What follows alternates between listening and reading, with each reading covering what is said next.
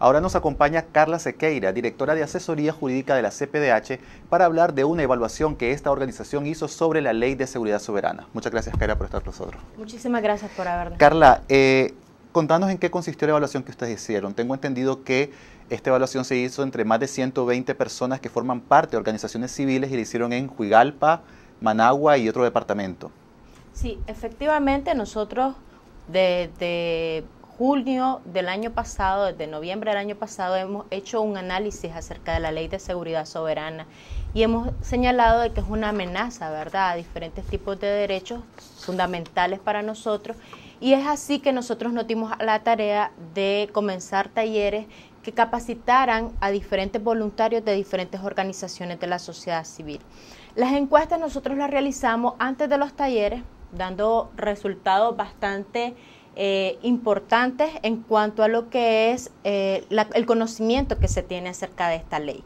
Esta ley lamentablemente a pesar de que ya lleva desde diciembre, el 18 de diciembre del año 2015 aprobada, no tiene mayor conocimiento la población acerca de la misma. Las encuestas revelaron que más del 91% conocía poco o nada de la ley y esto es realmente lamentable. ¿Qué es las personas que decían que conocían de alguna manera la ley, qué preocupaciones expresaron? Bueno, realmente, mira lo curioso, eh, de ese porcentaje de las personas que decían que conocían, unas decían que favorecían a la libertad de protesta pacífica, libertad de expresión, o sea, realmente no lo estaban de forma positiva. Exactamente, lo evaluaban de forma positiva. Y el otro porcentaje realmente no estaba al tanto de cuáles eran las amenazas que representaba esta ley de seguridad soberana, solamente tenían un conocimiento bastante superficial acerca de la ley. ¿Cómo se explica que un porcentaje tan alto de las personas que ustedes encuestaron desconozcan esta ley? Sobre todo estamos hablando de gente que trabaja eh, principalmente en organizaciones civiles. Sí, bueno, nosotros como CPDH nos preocupa. Justamente esa parte es la que nosotros nos preocupa más en el aspecto de que ver voluntarios de organizaciones, de personas que se supone que están organizadas dentro de asociaciones sin fines de lucro, que trabajan en promotorías de defensa de derechos humanos, son las personas que están con mayor desconocimiento acerca de la ley de seguridad soberana. Y eso significa que la población común, corriente, que trabaja al día a día para conseguir sus alimentos, no va a tener mayor desinformación, conoce muchísimo menos acerca de la ley y eso significa de que si en un porcentaje de las personas que están asociadas, que están eh, agrupadas en una organización, no conocen la ley, pues obviamente la población en general la, desconoce mucho más. ¿Su análisis qué dice? Es decir, ¿esto se debe a apatía, a falta de información, a que no ha habido una promoción eh, importante sobre este reglamento? Eh, realmente de todo un poquito. realmente fue una estrategia del Estado de Nicaragua. Se aprobó la ley el 18 de diciembre del año 2015, o sea, estamos hablando que se eh, salió en vigencia cuando todo el mundo va a vacaciones, va a las purísimas, va al fin de año, Navidad realmente las personas se comenzaron a preocupar por otras cosas, obviamente fue la parte del desinterés, pero también las organizaciones de la sociedad civil no han capacitado a sus voluntarios acerca de las amenazas y el riesgo que corresponde de esta ley. De hecho, ustedes dicen en el informe de que la gente no se toma en serio la ley. ¿Qué significa esto? Significa de que eh, saben de que está ahí la ley de seguridad soberana y es cierto, en este año todavía no se ha aplicado la ley o por lo menos no se ha dicho que se ha aplicado, pero ahí está y realmente no hacemos absolutamente nada para cambiar. Y ese es prácticamente parte de la apatía que tiene la población en decir, bueno, tenemos una ley de seguridad soberana, pero no me afecta hasta cuando ya la persona está dentro del chipote, es que comienzan a decir, ah, es que existía esta ley y yo no hice nada en su momento. ¿Y qué repercusiones puede tener eh, social y políticamente el hecho de que la gente tenga este desinterés por un reglamento que ustedes como organizaciones de, de derechos humanos han advertido que puede ser peligroso? Bueno, tenemos que estar claros de que la ley no te dice no va a existir la protesta pacífica, no hay libertad de expresión, sino de que existe demasiada arbitrariedad que le da demasiada arbitrariedad a los funcionarios para determinar qué es una amenaza a la seguridad soberana. Esto significa que, por ejemplo, realizar una protesta pacífica que se puede hacer, por ejemplo, las personas que eh, se protestan contra el canal, el día de mañana pueden decir de que es una amenaza a la seguridad soberana.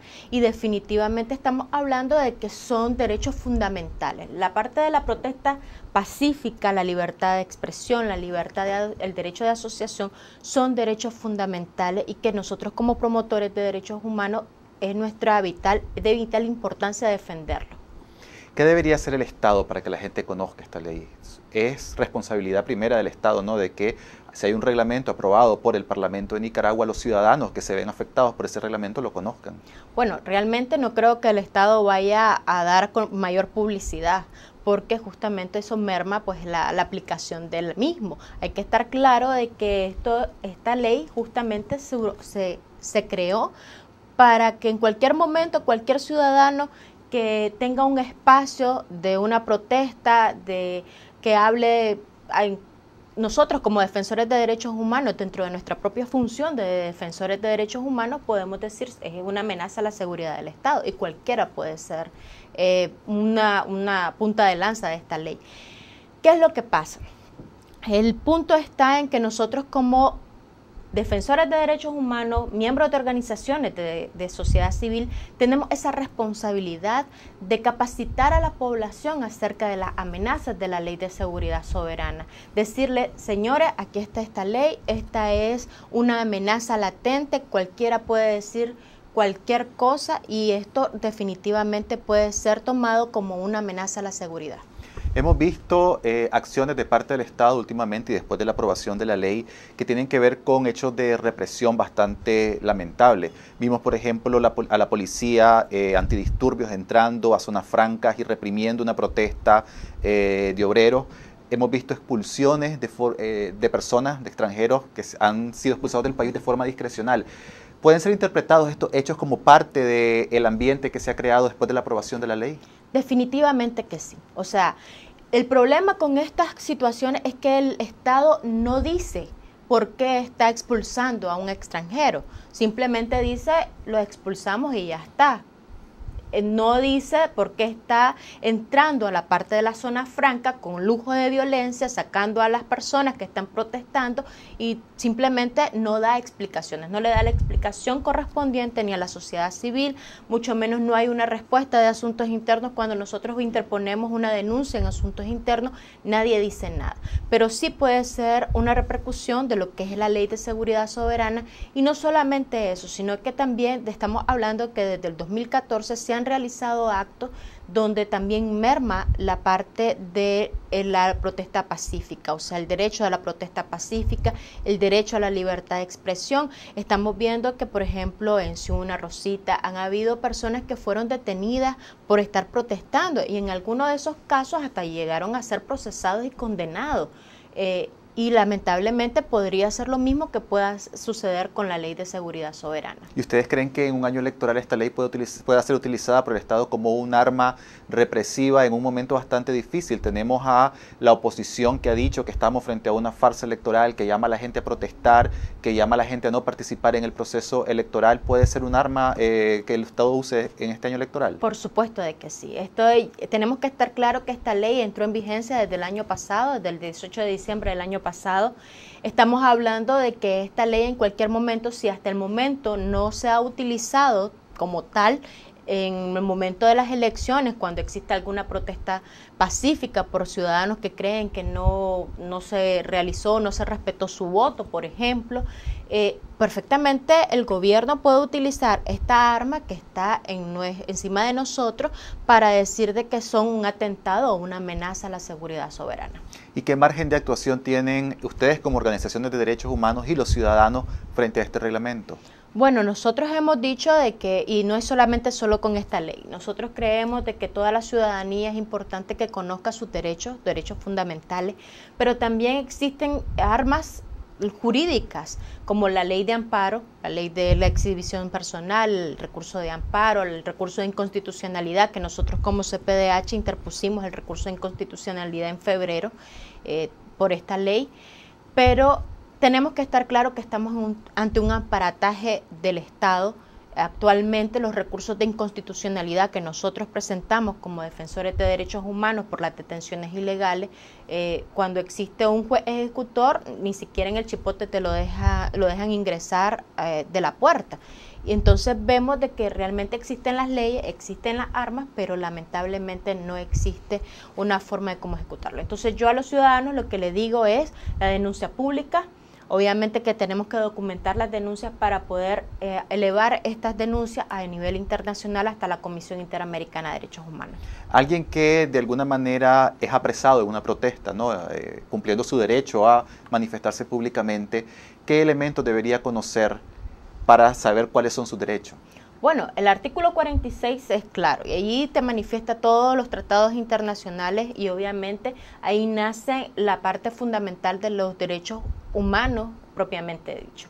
Ahí hablamos de que la Convención Interamericana de Derechos Humanos, la Declaración Universal de Derechos Humanos, todos estos tratados internacionales protegen claramente el derecho a la protesta pacífica y, el derecho a la libertad de expresión y el derecho de asociación. Entonces, está recogido en nuestra constitución política, no es algo que nosotros estemos inventando, está claramente recogido en nuestra legislación y nosotros como ciudadanos debemos de saber de que ese es nuestro derecho y que debemos de hacer frente en contra de las arbitrariedades del Estado.